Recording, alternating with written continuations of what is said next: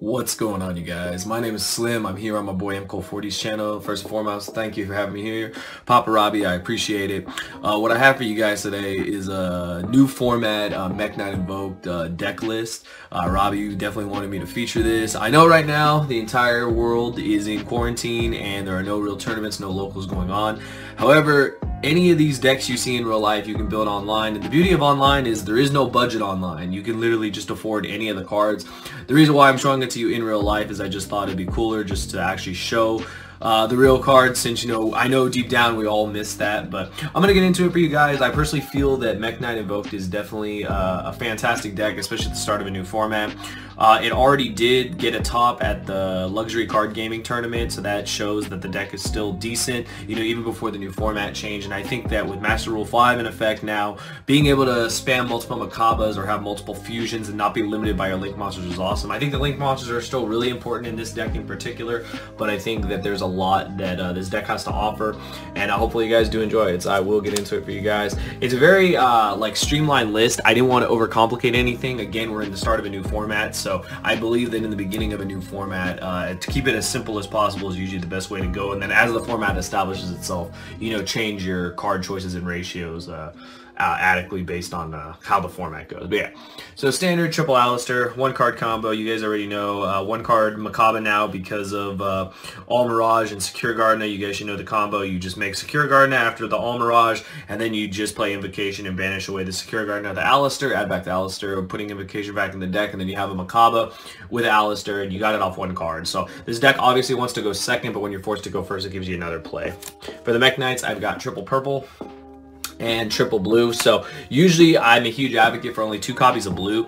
The reason why I'm playing a third copy, I'm actually playing a higher Mekk-Knight count than I usually do, uh, is because we are playing the Trap World Legacy Secret, and I'll explain that when I get to it. And we're also playing Morningstar for that exact reason. So we have the one indigo and the one yellow. Uh, I chose yellow over red just because I feel back row decks are still going to be super prevalent. So I felt that having this card, it does come up a lot, being able to uh, just pop your opponent's card in the column. A lot of times I don't see it coming, and you do link the Mekk-Knight Knights away a lot, so it does come up a decent amount. So that's it for the Aleister and the Mekk-Knights. I believe it's eight Mekk-Knights, so a little higher than usual, but you guys will see with the with the trap why we decided to up the Mekk-Knight count.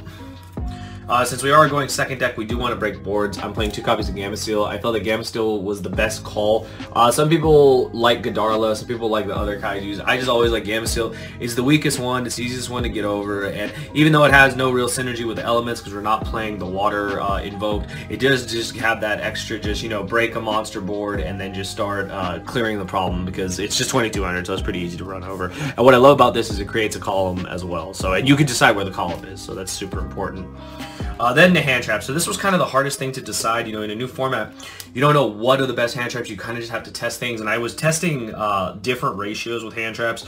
And I kind of just realized that I wanted to have more of a variety. So I decided to do a lot of two-ups. You may not be a fan of this, but I can tell you right now, if you're trying to play uh, every possible hand trap, two-ups are kind of the nice way to go. It's a fine line between seeing them and you seeing them too much and then not seeing them enough. So hopefully that makes sense. But I got two copies of Ash along with two copies of DD Crow. In my opinion, I feel like these are still the best hand traps. Salamangreat is everywhere, especially if you're playing online. A lot of decks are, uh, you know, graveyard based, and I think DD Crow is fantastic. It's one of my favorite hand traps, one of my favorite cards in the game. Being able to just crow anything is amazing. Uh, really good, like I said, against Salamangreat. Really good against Orcust. Once they get their new support, people are already playing them online. You're going to see it. Ash is just the most generic hand trap. I felt that it was one of the best ones to still play. It is a hard once per turn, but it's fine. Just uh, DD Crow just, I felt, filled the void that uh, other hand traps don't. Uh, you can play stuff like Skullmeister, you can play Ogre, you can play Veiler. There's so many different hand traps you can play. I personally just like DD Crow at the start of this format, especially knowing that there's so much graveyard uh, related decks. Uh, also, in Master Rule 5, I had to put, play two copies of Nibiru. I felt that Nibiru, at first, I was not super uh, confident with it. I felt that, you know, before Master Rule 5, I felt like, okay, this card can really be hit or miss. You know, you play it against Salad, it's good, but if they have Will, they can just play through it. A lot of decks know how to stop before the 5th Summon. A lot of decks can make Apollousa. A lot of decks can play around Nibiru. But I think that this card still warrants being played. At worst, it's a light for Mechaba. It's just able to, you know, clear an entire board when the opponent just overextends. And if your opponent likes to overextend and doesn't want to, you know, doesn't really fear Nibiru. If you have it, you know, you just kind of blow them out. You can see it in, in the past, like spirals, they overextend, you just Nibiru them. Salad overextends without will, you Nibiru them. Heroes overextend, you Nibiru them, especially with the unrestriction for like synchro decks and a lot of decks that like to spam. Being able to drop Nibiru is just fantastic, so that's why we play it. And then this is, might be the most controversial hand trap, believe it or not. It's two Phantasme, but to be honest, I was one of those people that felt that this card wasn't going to be that good as soon as April 1st rolled around. Little did I realize with Salad being in the format and a lot of decks still doing what they did last format, you have to link summon. Whether you have unrestricted uh, fusions, XYZs, um, etc. Phantasme still came up because most decks still have a Link Monster they want to summon. They still have a line of play they want to do. And Phantasme can be that card that can not only put a body on board, it can help fix your hand, and it becomes a threat because then they can't really target any of your guys. So Phantasme, I think, is actually a very good card this format.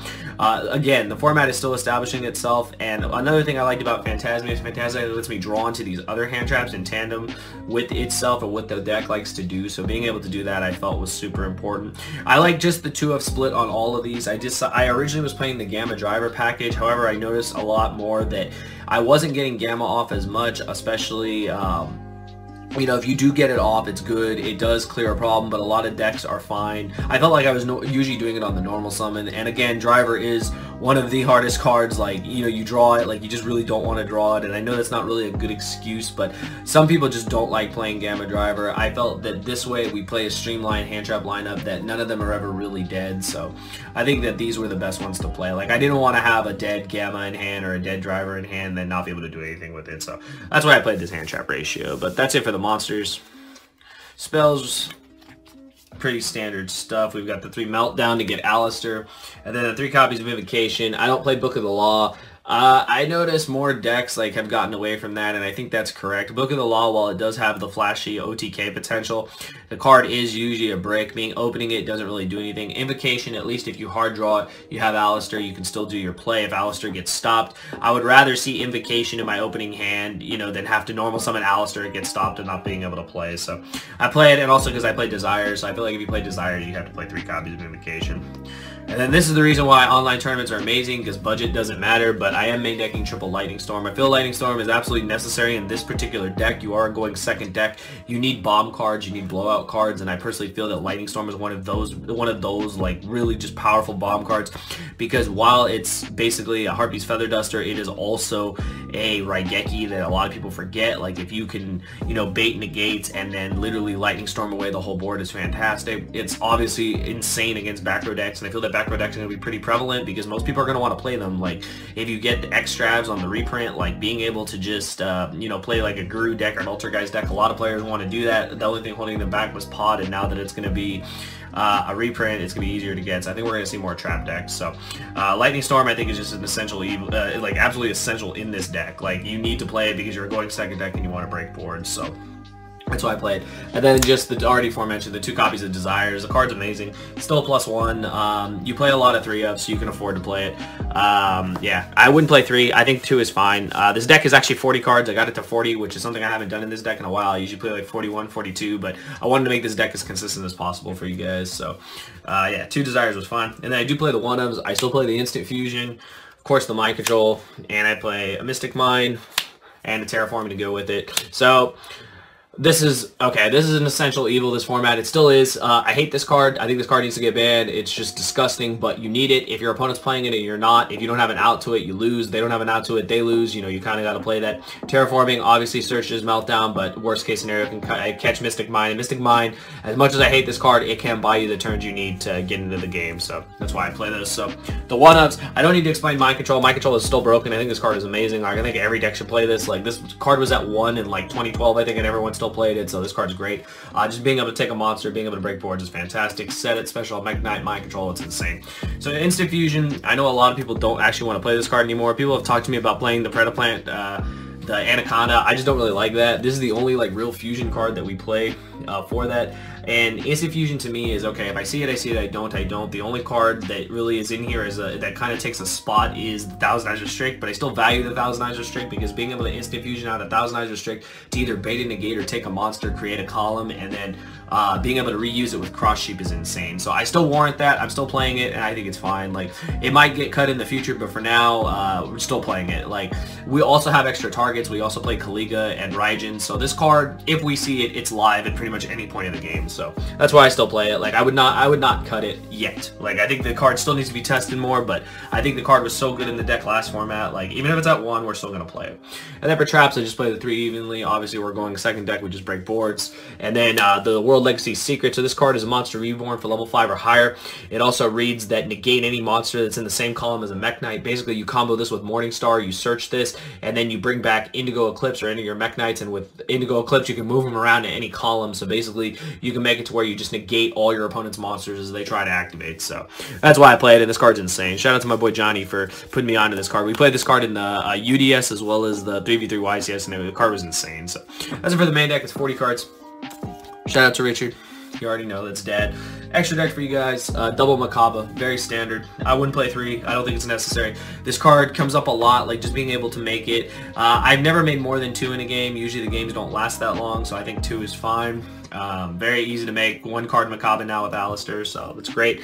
Uh, one Purgatrio, same thing. I don't think you need more than one. You only make it when you're going for game. Uh, this with Mystic Mine is disgusting, especially if you have multiple Aleisters in hand. You can just wipe a whole board and just OTK your opponent. Uh, one Raijin, uh, card standard. It's instant fusion target, and it's also just really good. Very quick Book of Moon effect is fantastic. Uh, I know that there's not a lot of winds that are that we we don't really play any winds in the deck. We're not playing Droll and Lock Bird, but uh, I feel that any deck that puts a wind on board, it could come up. Also, being able to instant fusion it out does come up in some situations, so that's why we play it. One Caliga standard. This card is just great, really good against Shaddoll. Uh, ending on Mechaba Kaliga is insane, so we still play that. The already aforementioned Thousand Eyes because of instant fusion. That's it for all the fusions. And we've got our links. So our links are standard. We got the Almiraj and the Secure Gardener, which is the one card Mechaba combo. Uh, this gives you the best option going first. Uh, Cross Sheep, probably my favorite card in the extra deck. This card is nuts. Just being able to, uh, you know, just OTK your opponent, like being able to bring back a guy, being able to make Borrelsword is crazy. Of course, the Mad Invoker, being able to search multiple invocations if it comes up. It also is, it has its name as Aleister while on the border in the graveyard, which is super important, especially when you don't see Aleister the Invoker, but you do see Invocation. If you can find a way to Mad Invoker, you can still make a Invoke play, so I love this card. And then Morningstar, it searches the trap. It has a very cool effect that people don't read. If you attack it in a, col uh, in a column that's not its own, it can't be destroyed by battle. You take no damage, so none of your Mekk-Knights do. So people, everyone forgets that. Like, no one reads this card. Uh, I used to undervalue this card and it was a mistake. I think this card is fantastic. Obviously, it's amazing in pure Mekk-Knights, but I think this card is also warranted in Mekk-Knight Invoked. Along with the trap, it's just fantastic. Being able to search Indigo off blue, discard uh, Indigo to search uh, secrets with, with this card is just insane. And then Reborn the secret, Reborn the Indigo and just move all your guys around and negate everything is fantastic. Then just standard links, uh, Phoenix and Unicorn. I think they're both needed. If you notice, we still play a lot of links because I think links are really important. Like, I didn't want to bog down the deck with more fusions when I don't think they're necessary. I think the link monsters are still more necessary. We don't synchro in this deck, so that's why, you know, we're still playing links. That's why I said I think Phantasme is still really good. Uh, another one of my favorite links, the VLS link. This card comes up a lot. You make it a lot more than you think, and this card is fantastic against trap decks, especially if you boost it to 45. It's unaffected by stuff. They can't destroy it. it it's just an amazing card overall, and I think this deck makes it uh, one of the easiest. And then just Borrelsword, because you OTK your opponent all the time with this. Uh, with Cross Sheep, you literally... Um, you literally just make a quick OTK, and I think it's I think it's fantastic. I think every deck should still play this card. I think this is probably the most essential uh, extra deck monster that you would play this format. But yeah, that's the deck, you guys. Again, I want to thank Robbie for featuring me on the channel. Hopefully you guys did enjoy. Hopefully you guys will head over to my channel, Simply Slim YGO. Some of you might remember me as Slim X Team Symmetry if you've been around uh, watching Robbie's channel for as long as I have. You guys might remember that. But yeah, uh, I do a lot of stuff over there, deck profiles, a lot of meta breakdown. I go to a lot of events when there are events, and I do a lot of the coverage with my, with my brother Asian Persuasion. So I'm sure you guys have seen us around or heard our voices behind the camera, uh, whenever there's deck profiles being done at events. But yeah, that's what we do. I also started a new series on my channel uh, where we test uh, the hands of any deck in the meta and just, you know, kind of talk through every possible play. And we actually did the first episode on this deck, so hopefully uh, you guys will check that out as well. But yeah, again, thank you, Robbie. Keep up the great content. I hope everyone enjoyed the deck. Like I said, I know this is an in real life deck profile, but you guys can build this deck online, tweak it to your liking. And remember, there's no budget online, so it's fantastic. But yeah, I hope you guys enjoyed. I'll see you guys next time. Thank you for watching.